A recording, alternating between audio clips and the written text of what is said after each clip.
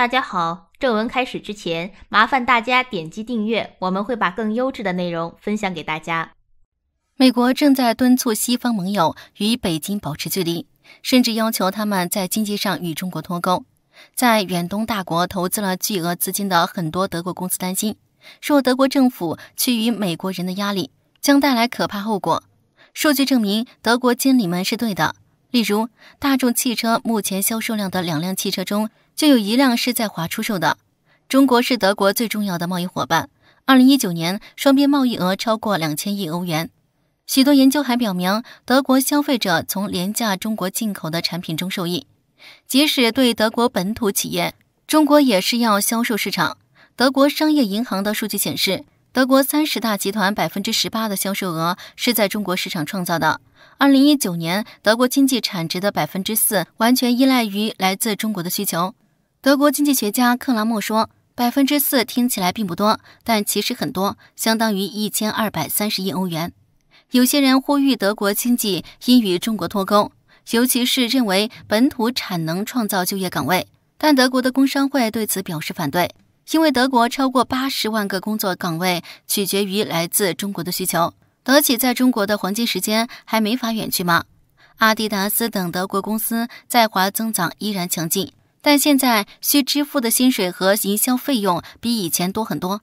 中国政府也要求外国公司在当地加大研发，因此流回德国的资金减少了。但就在几周前，大众汽车宣布将在华投资二十亿欧元用于电动汽车领域。根据德国工商会总会的数据。中国有五千二百家德国公司。实际上，中国在一些技术上已经取得领先优势。中企在电动汽车的电池技术、人工智能开发和五 G 移动通信标准等方面已成世界领军者。进而，世界经济研究所主任费尔伯曼尔说：“事实上，我们在技术上也依赖中国。德国人在中国目前就像走钢丝。”德国工业联合会主席肯普夫谈到外国公司进入中国的高门槛。但同时，几乎没有其他国家像德国那样从这种国际经济关系中如此受益。中国或许是竞争对手，也可能是系统性的竞争对手，但它依然是欧盟和德国的重要伙伴。强迫德国与中国脱钩是完全不可能想象的。肯普夫警告说，这将带来巨大的经济损失。没有人真的考虑过。疫情中，德国和中国的联系越来越紧密起来。刚刚，默克尔在同李克强的视频会晤中谈到了几个关键的问题：一、肯定中国防疫疫情的巨大努力。默克尔这句话对比美总统对中国的指责，可以说是最好的反击。中国的抗疫工作在国际上是受到了肯定的。至于某些国家一再横加指责，那是某些国家自己抗议不力的问题。值得注意的是，默克尔表示，德中保持着密切的高层沟通，传递了什么？就是中欧之间的高层互动。是完全通畅而且有效的，在大国的关系间，这种密切沟通完全是有必要的。比如俄罗斯和中国同样保持着这样的沟通。二、密切在世界贸易组织事务中沟通协调。默克尔在谈到这个问题时，先说了一句：“德中两国都主张加强多边主义。”这一段时间以来，世贸组织 WTO 的争议非常多，主要源于美国又威胁继续退军，打算退出 WTO。美国威胁退出，真实的目的是为了对 WTO 进行施压，让 WTO 更加偏向美国。但是分裂的是，美国贸易代表莱特希则表示，他不支持退出世贸组织。此时此刻，默克尔提出的密切在世界贸易组织事务中的沟通协调，或者也有借力世贸，发挥欧洲经济大国的作用的意图吧。毕竟，美国认为自己是老大，欧洲也有自己的老大德国。默克尔的意思是两层。第一层，为了大家和美国搞好关系，我们来调停；第二层，如果大家和美搞不好关系，还有德国。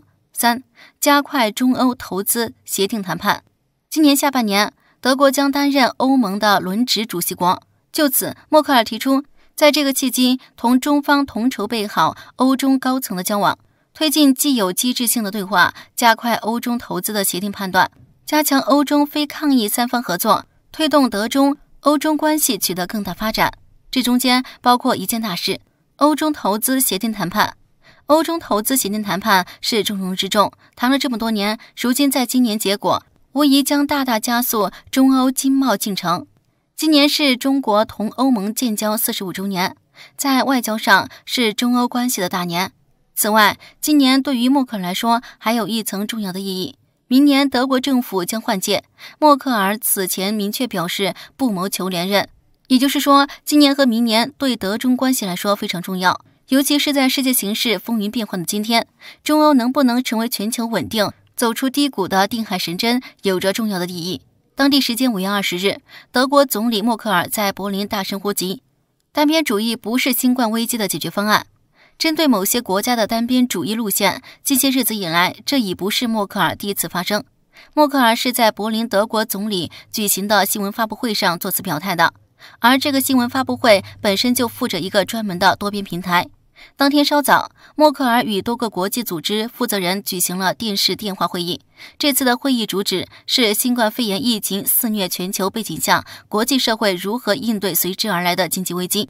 默克尔在会后的新闻发布会上态度鲜明地表示，应对新冠肺炎疫情的解决方案当然不能是单边主义的，如试图将目前的国际分工和跨国供应链切割得支离破碎，试图在一国之内解决问题。他表示，倘如此，我们每个人都将付出最高昂的代价。由于宣布2021年德国会议选举后将隐退，默克尔一度趋于低调，但自新冠疫情爆发以来，他再度活跃。多次发表反对以单边主义思维引导抗议的言论。五月十八日到十九日，第七十三届 WHO 大会召开期间，默克尔明确反对美国等国所提出 WHO 领导抗议无用论等单边主义主张。他还和法国总统马克龙一起提出一个总额达五千亿欧元、旨在实现经济复苏的欧洲复苏计划。这项受到前 IMF 总裁、现任欧洲央行行长拉加德高度评价，被四家欧洲重量级经济媒体交口称赞的计划，被公认为以多边主义应对新冠危机的号角。此次与多国家国际组织联合举行的电视电话会议上，默克尔呼吁 IMF 和世行等协调世界各国采取进一步措施，改善最不发达国家债务可能持续性。提供更多、更直接的援助。他表示，需要做更多的工作，以帮助最脆弱的人群。默克尔近来屡屡对防疫单边主义开火，且刻意选择如此特殊的多边主义平台，绝非一时兴起，而是深思熟虑的有感而发和有的放矢。正如默克尔所坦言，这种单边主义趋势，事实上在疫情爆发之前就已经存在。一些国家打着“本国优先”的旗号，蓄意破坏全球化趋势，开国际分工合作的倒车，甚至以邻为壑，做一些损人不利己的事。疫情的大爆发和国际化，更给了这些人以变本加厉的口实和胆量。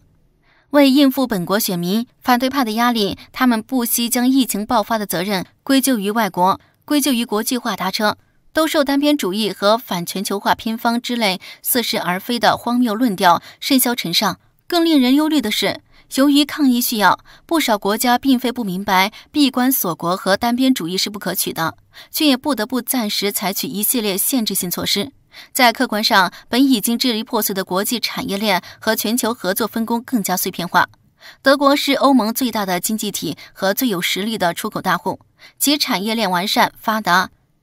且得益于全球化和多边主义，在产业链国际分工和海外市场拓展等方面尽享红利。可以说，德国是多边主义国际化最大的受益国之一。作为德国战后任职时间最长的总理，默克尔对此当然是心知肚明。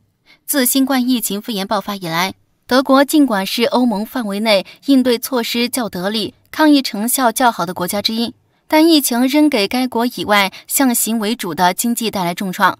据德国统计，五月十五日数据，二零二零年一季度德国 GDP 较前一季度萎缩二点二五，环比缩水按年化计率达百分之八点六，是两德统一以来第二差表现。在这种情况下，唯有继续大力倡导全球化和多边主义，对经济形势较德国更糟糕的欧盟伙伴和不发达国家能拉一把就一把，才能让德国赖以为生的国际产业链和海外市场维持活力。从而让德国自己也赢得喘息之机。这固然是在帮人，但说实话，还是在帮自己。目睹个别本国优先大国任意践踏国际法准则，肆意撕裂国际贸易体系的危险，默克尔表示，德国希望加强法治和国际贸易体系建设。他警告，我们迟早会看到，当全球供应链崩溃时，将造成怎样的危害。然而，默克尔反单边主义的大声呼急，并非那么容易产生积极效应。众所周知，美国是本轮反全球化单边主义潮流的引领者。从目前情况看，美国政府一方面力推重启，逼迫别国对美国人流物流开门。另一方面，继续深沟高垒，不但不让肥水流入外人田，甚至希望把外面的肥水也都流入美国的田里。默克尔如果不能有效地应对美国多边主义、国际化的干扰，切实阻遏这种单边利己主义行为对全球化、对国际产业链分工的破坏，不论其大声呼急是如何的振聋发聩，都注定只能是事倍功半。在德国国内，单边主义和狭隘民族主义近年来有所抬头。而默克尔的执政联盟则受到了很大的削弱。作为一个行将退休的老政治家，默克尔还能掌舵多久？一旦他隐退，德国这艘多边主义航船能否继续保持稳定航向呢？今天的节目就到这里，喜欢的朋友别忘记点赞、分享、订阅，你们动动手指对我可是意义重大。就这样，我们下期见。